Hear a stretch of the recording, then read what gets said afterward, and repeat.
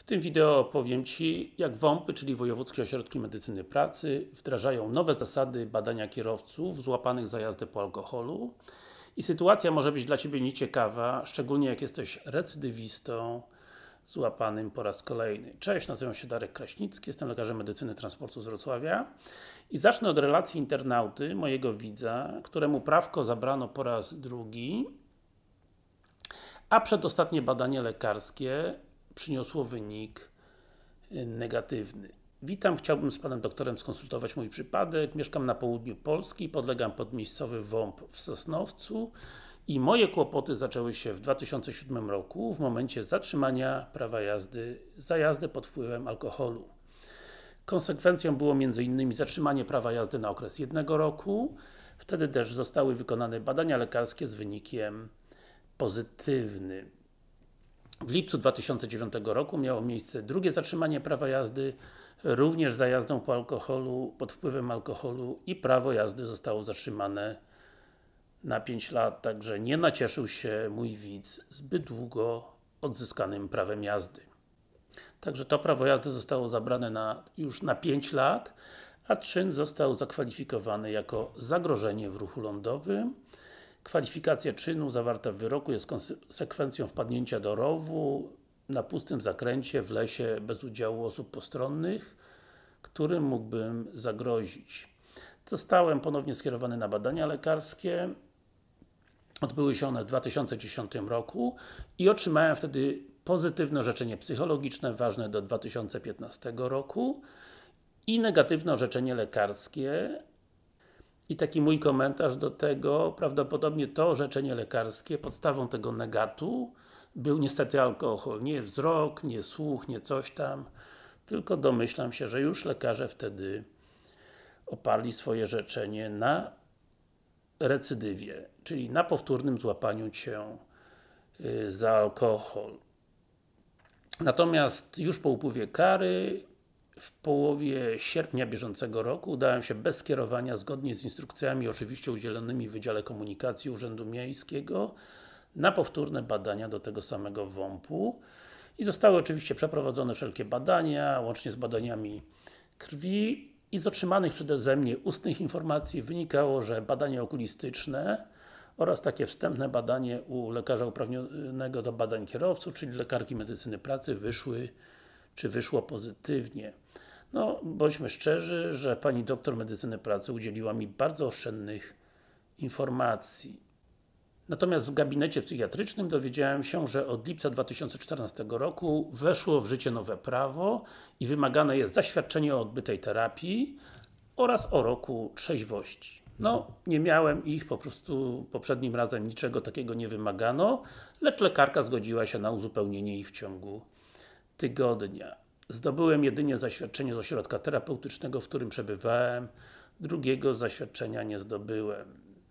No, bądźmy szczerzy, z pustego i Salomon nie naleje, czyli jeżeli nie uczęszczałeś do lekarza, to jest mało prawdopodobne, że jakikolwiek lekarz poświadczy nieprawdę i wypisze Ci coś tam zaocznie, że byłeś, chodziłeś, leczyłeś się, jak nie chodziłeś się nie leczyłeś. I niestety ponowna wizyta w WOMP-ie ograniczyła się w zasadzie do wizyty u lekarki medycyny pracy, która wydała negatywne orzeczenie lekarskie z powodu braku zaświadczenia o roku trzeźwości. Nie odebrałem go w dniu badania, lecz drogą pocztową. Początek września, no powiedzmy moja gra na czas. Mam od tego czasu, według WOMP-u, 2 tygodnie, 14 dni na złożenie wniosku o ponowne badanie. No i teraz są moje pytania, czy to ponowne badanie to jedyna droga, którą mogę wybrać? Czy są jakieś możliwości prawne odwoływania się od ich decyzji? No, mam też pytanie, czy pozytywne orzeczenie psychologiczne z 2010 roku było nadal ważne w trakcie badania z sierpnia? No jeżeli tak, to dlaczego wymagano ode mnie tych zaświadczeń?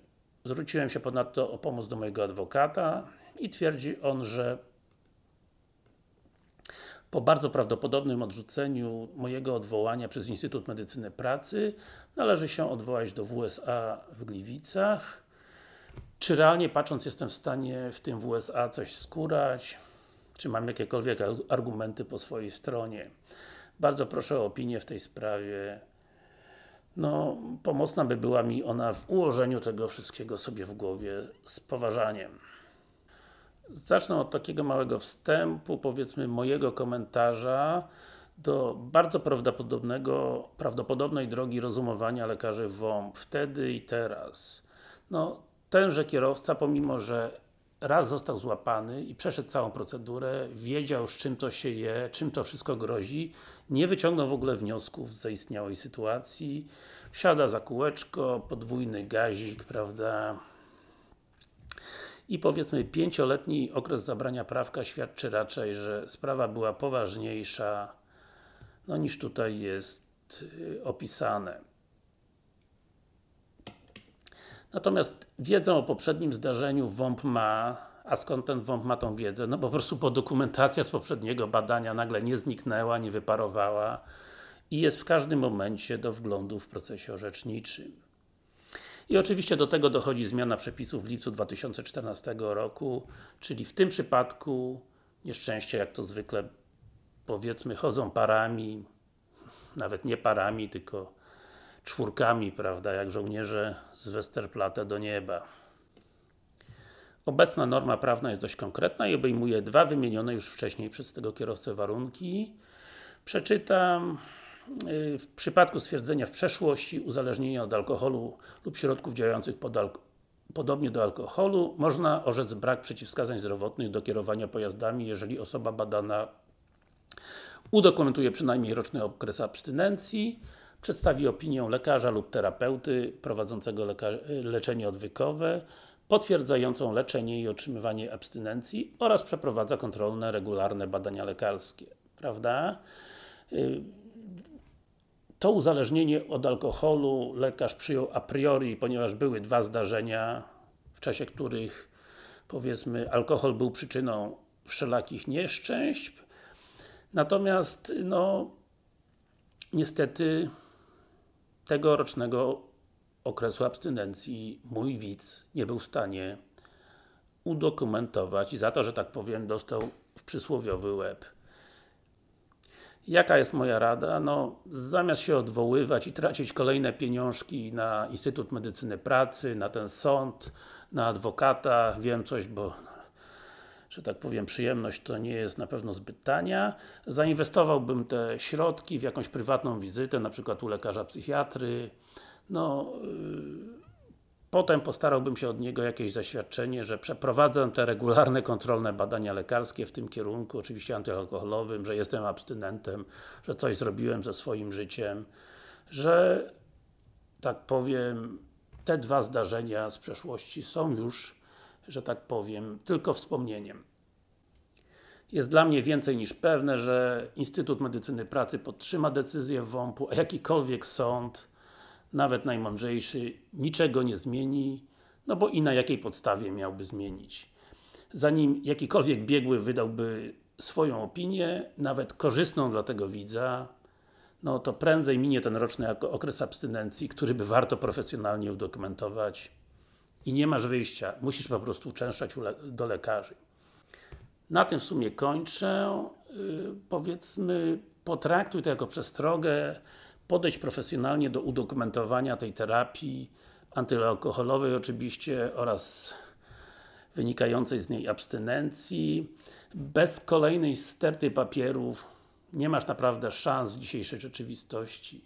I niestety jest to dodatkowa uciążliwość oprócz wspomnianych przeze mnie kar finansowych. Bez papierów, nie masz co iść do WOMP-u, do sądu, do instytutu, a tutaj nie trzeba nawet wielu papierów, tylko musisz mieć udokumentowaną abstynencję i regularne leczenie się u lekarzy. Także mówił Darek Kraśnicki, do zobaczenia w moim kolejnym wideo. Natomiast jeżeli przez przypadek jesteś kierowcą, którego złapano po raz pierwszy, wyciągnij z tego wnioski, wyciągnij wnioski z historii tegoż to internauty, który boryka się i nie wie co za bardzo ma zrobić. Natomiast jeżeli nie jesteś jeszcze moim sta stałym widzem, też nie rozpaczaj. Problem jest tu mniejszy niż z tym alkoholem wspomnianym wcześniej. Koniecznie dokonaj tutaj po mojej prawej stronie, po Twojej lewej subskrypcji kanału Lekarz Medycyny Pracy i w ten sposób niczego nie ominiesz. Jeżeli jeszcze w trakcie tego procesu, że tak powiem, odzyskiwania tego prawa jazdy, kolejny materiał jako pierwszy, czy jeden z pierwszych otrzymasz i bardzo często są to materiały pomocne dla kierowców takich jak Ty w odzyskaniu prawa jazdy, nawet po raz kolejny.